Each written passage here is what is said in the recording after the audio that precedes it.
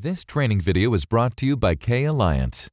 K Alliance is the 21st century's educational corporation specializing in the most comprehensive enterprise training solutions, ranging from e-learning to instructor-led training. Press play for success. After watching this video, be sure to become a Facebook fan to receive the latest updates, promotions, and course releases. You can also subscribe to our YouTube channel to preview the latest desktop soft skills and IT training videos. When you're typing inside of Microsoft Word, you might have a few habits that you can now break. Here's one of them for those of us who learned how to type on a typewriter. Because typewriters are monospaced, which means every character takes up the same amount of space, we were taught to double space at the end of a sentence to give it a little more breathing room so people can see that you've finished a sentence and to make your paragraphs look better.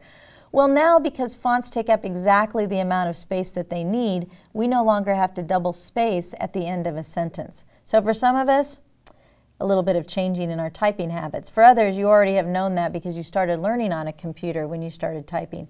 A second thing to remember about typing on a computer is that when you get to the end of the line, if you want the words to go on to the next line, you just keep typing. Don't do anything, just keep right on typing. And you don't actually hit your enter key until you get to the end of a paragraph. And when you get to the end of a paragraph, then you hit your enter key. So let's go take a look at this. I'm going into a Word document, and what I did is I made the font huge, right? I made it size 28 so you wouldn't have to watch me type so much. And I guarantee you I'll make some mistakes. So watch what happens when I keep typing. Do you see my cursor flashing at the end of the first line? Let me just point to it here with the mouse, just above my mouse there. So when I keep, see how it wraps around? Here we go. Here it's going to go on to the next line.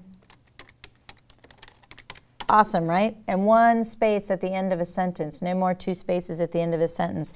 Okay, okay. Oops, I meant to say okay. So what happens when you make a mistake like that? Backspace. You just use your backspace key and backspace and then keep right on typing. Also, let's make an intentional mistake. I'm going to try to type the word this, but I'm going to have my keys, my fingers over one key. Oops, that's a mistake. Again, backspace to take it off. Or tis instead of this, we also can get red wavy lines. Now, when you get the red wavy lines, what happens is it's telling you that there's a potential spelling error. But what I want you to notice is I meant to get a spelling error with tis, but tis is a real word. So it didn't come up with a red wavy line because it's saying, you know, you've got a real word there. So as you're working and as you're typing, just remember you're going to get red wavy lines when you have spelling errors or potential spelling errors, green wavy lines when you have grammar errors, and blue wavy lines when Word is trying to suggest a different word that they think might fit better in that particular sentence. So break those habits if you're a two space at the end of a sentence typer. You only need one space. Keep typing when you get to the end of a line and let it wrap around. Use your enter key when you are at the end of a paragraph and you want to go on to the next paragraph. Use your backspace key when you've made a mistake and you want to fix it. And then if there's spelling errors or grammar or word choice errors, you can just leave those and go back and fix those with the spell check if you'd like to. But as you're typing, I know that you're going to find that you will get your own little niche on how you do things and you're going to be really great at using Microsoft Word.